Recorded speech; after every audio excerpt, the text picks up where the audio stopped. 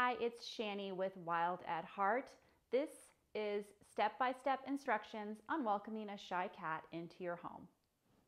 But this can also be used for any time your cat experiences something stressful. Maybe you just moved or maybe your cat experienced a traumatic event. These steps will also be helpful. But first, I wanted to just say thank you so much for choosing a shy cat. As someone who works at a shelter, I see shy cats overlooked over and over again, and then they end up languishing in shelters for months. You cannot judge any animal in the shelter environment as it's just inherently stressful. Shy cats are literally some of the most loving and loyal kitties you can choose. The shy ones are sensitive and kind. They deserve to be loved and cherished. So thank you from the bottom of my heart for saving a shy cat. Okay, so let's start the video. This is gonna be a longer video, but I promise you that the results are gonna be amazing and your relationship with your cat is gonna be very harmonious. So step one is setting up your safe room. Now, you wanna choose a room that is relatively quiet and doesn't have a bunch of people going in and out of it. The room should include everything that your cat needs. So a litter box with unscented clay litter, food and water placed as far away as possible from the litter box, an assortment of toys, scratchers, a cat tree, treats, music, or maybe a TV, and hopefully a nice kitty water fountain. There are two super important details.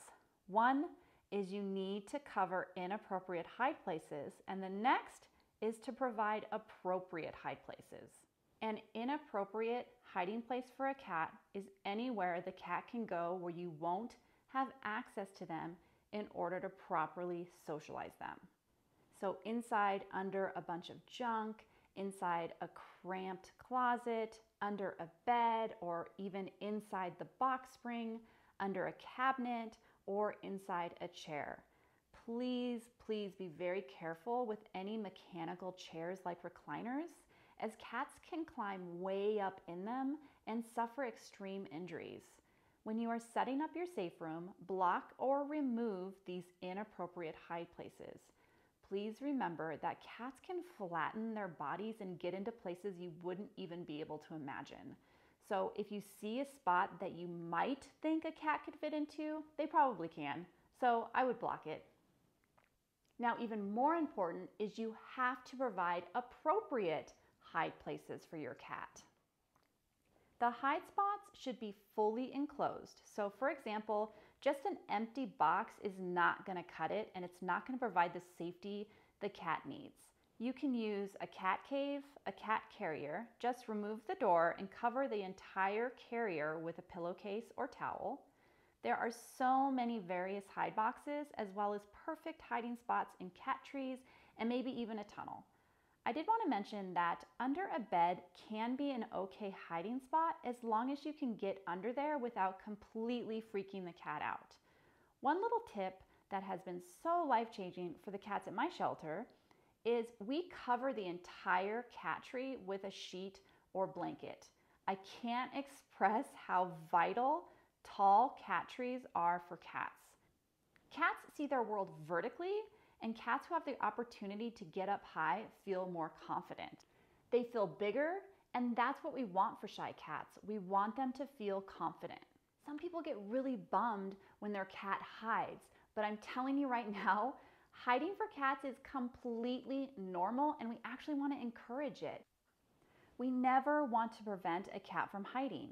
Some think by forcing the cat out into the open, you will speed up the socialization process. You will not. You will only show your new cat that you are someone to fear and that your home is not safe. So you must provide all cats, whether they are shy or completely comfortable, with appropriate hide places. Now here are some examples of some scratchers that have been really effective with the cats that I've worked with. It's good to have a variety as every cat is different.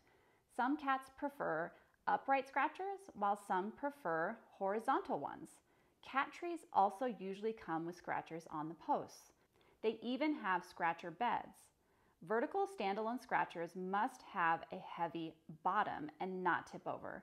It can just take one time of a scratcher crashing to the ground to create a fear and resistance to using the scratcher. You can cover scratchers in catnip to encourage your kitty to use it or use a wand toy to guide them to it. Now you should have a variety of toys for your cats. You want ball toys, plush toys, wand toys, bigger interactive toys, and of course catnip. I highly suggest investing in a water fountain for your cat. The number one issues many cats face are related to urinary function. So kidney disease, urinary tract infections, crystals, blockages, etc. Drinking water just doesn't come as naturally to cats for a few reasons. Cats love moving water because it means it's clean and not stagnant. Also, cats don't really see well up close. Fountains encourage cats to drink plenty of water, which is important for overall health. There are just a few options. You have plastic ones that are a bit more affordable, ceramic ones, glass ones, and stainless steel. You must refill the fountains daily, and I would fully clean them out at least once a week. So let's talk treats. With the hundreds of cats that I have worked with, the one treat that most cats like is Temptations. This is not sponsored, but Temptations, if you want to, hit me up. I love your product. I have had some success with greenies and these Meow Mix soft chews. Fancy Feast makes these cute little pouches with a tiny amount of tuna, which is helpful instead of opening a whole can and having it go bad.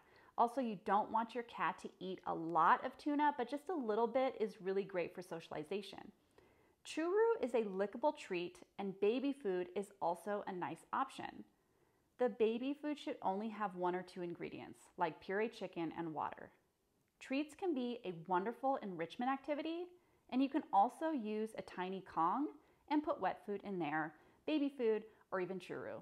And also treat balls, which you can fill with treats when you leave, which keep your cat occupied and entertained. Some additional enrichment like TV or music can be really rewarding. There are a bunch of cat music and entertainment videos on YouTube, even CDs. Playing movies that are calm and happy can help desensitize cats to human voices. Disney movies, cartoons, or generally happy movies are great. The green cube that's pictured is a music box specifically designed for cats made by a company called Pet Acoustics. I have had a lot of success with these, but they are a little pricey. You can buy them direct from the company or from Amazon. Just make sure the music or TV isn't too loud and is more like background noise. You can choose to play music and movies at specific times or throughout the day, but at night, cats should be given the opportunity to have complete silence. These resources are going to be your main tool for socializing your cat, for building that trust and building that connection. So don't skimp, you guys. Have a variety of things for your cat available. Step two is giving your cat some time to decompress and getting them on a schedule. Cats need time to adjust to a new environment without you being all up in their business on day one. Remember, your cat doesn't really know you and doesn't know your home. Even though you may already love your new cat, that feeling may not be immediately mutual and we can't force it. So, giving your kitty a couple days to just decompress is great. So just saying a quick hi with some slow blinks, giving them treats or wet food without invading their space or having big expectations is the perfect way to slowly introduce yourself as a non-threatening person. If you've never heard of the slow blinks, you should stop everything and try it with your cat. You want to look at your cat, slowly blink your eyes closed, hold them closed for a little bit, and then slowly open them. This is a way that you can tell your cat that you are a non threatening person. And what's really awesome is a lot of times they give you those slow blinks back. It's a way to communicate with your cat, and it's really awesome. So you should try it. Next, you want to get them on a routine or schedule. When a cat is able to predict their day, when they will be fed, played with, given treats, etc., it lowers their stress and anxiety greatly. Figure out what works best with your lifestyle and do your best to be consistent. Here are some basic feeding guidelines. Cats should have free access to dry food all the time or fed throughout the day in small portions. a portion of wet food in the morning and at night, and treats about one to three times a day. Now, this really depends on your cat and their needs. If your cat is prone to gaining weight, then obviously you want to restrict food, but cats should be eating many small meals throughout the day. Kittens should have specific kitten dry food and wet food. Since their bodies and brains are still growing, they should be able to eat as much as they want. You want the best quality food within your budget, one that is high in protein and low in carbs. To figure out the best options for you, check out my other video about figuring out how much protein is in cat food. Here are just some examples of schedules for you and your cat. Obviously, for people who work full time, some of the midday activities just may not be possible. But this is why music or TV is so wonderful because you can play it all day while you are out. Treat balls and Kongs are great because you can fill them up before you leave and then leave them out for your cat.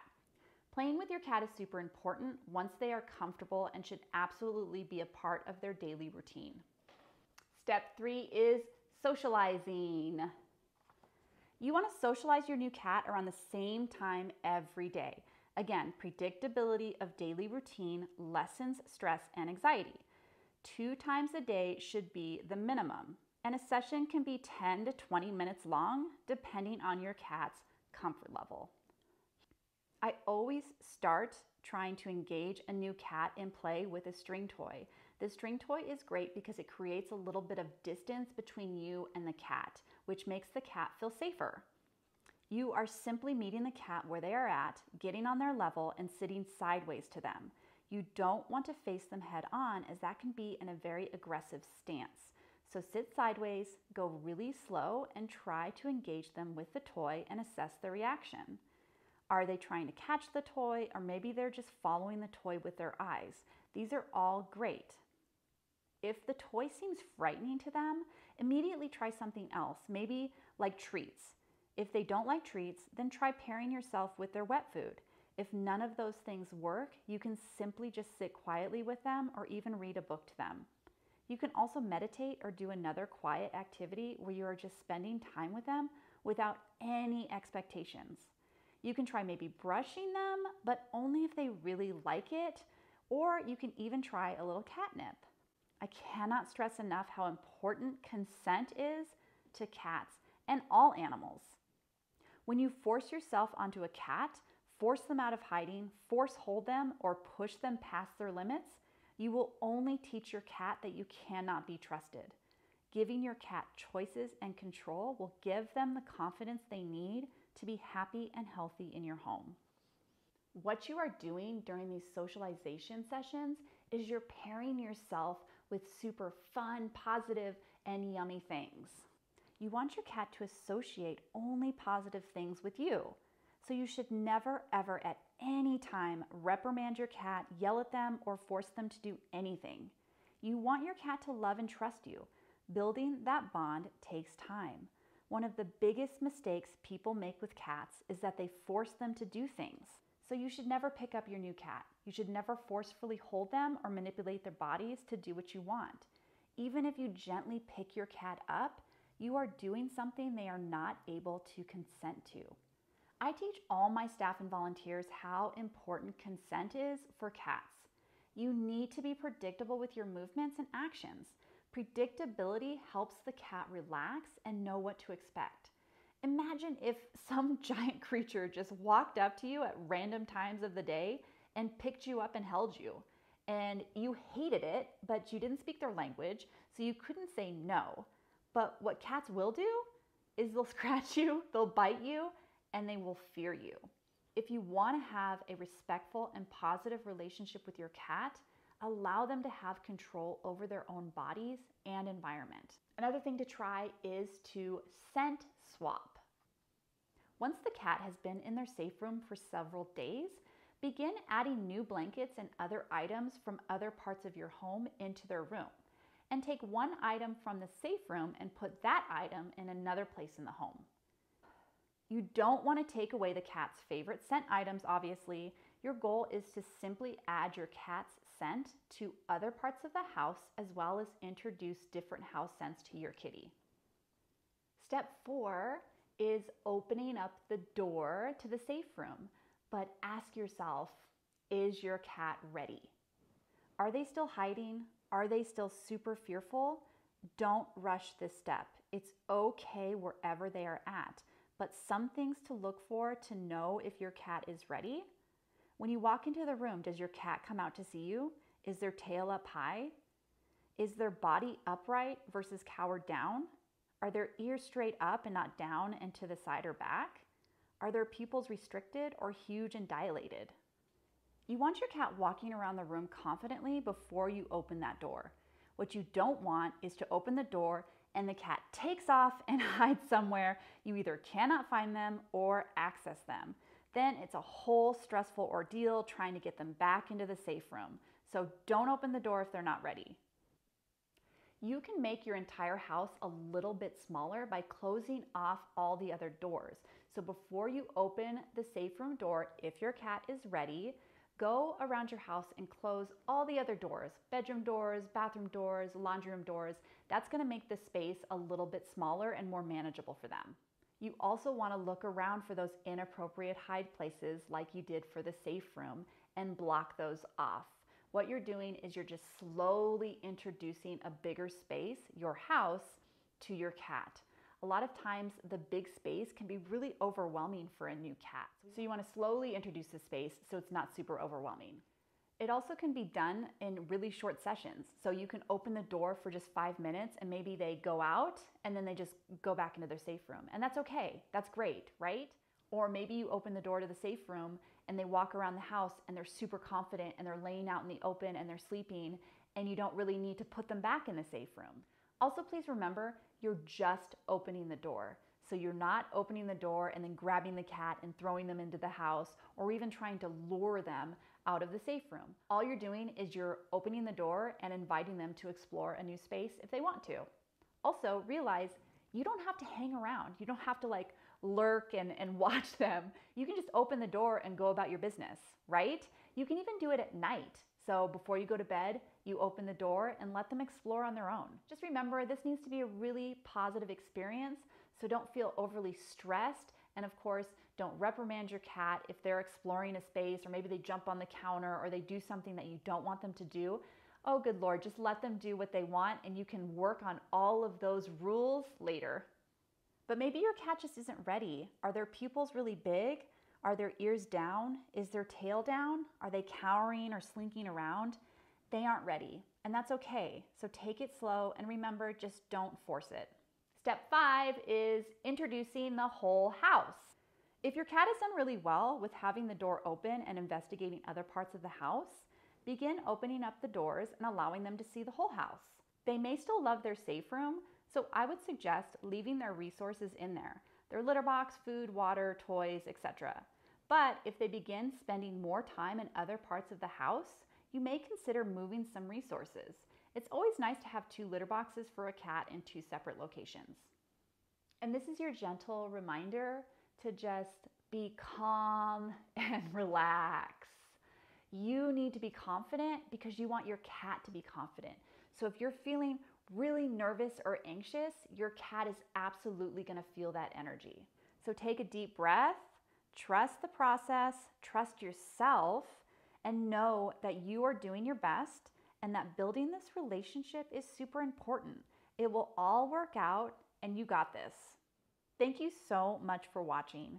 If you follow this protocol, I know you and your cat will greatly benefit. Thank you again so much for choosing a shy cat. I cannot tell you how rewarding it is when you earn the trust of a cat that has been betrayed or maybe abused or just has suffered some sort of trauma. These cats deserve loving homes. So thank you so much for welcoming a shy cat into your home. Now let's keep cats wild at heart. Let's enable them to feel safe, confident, and secure. And let's provide the best and most harmonious home possible. Please like, share, and subscribe.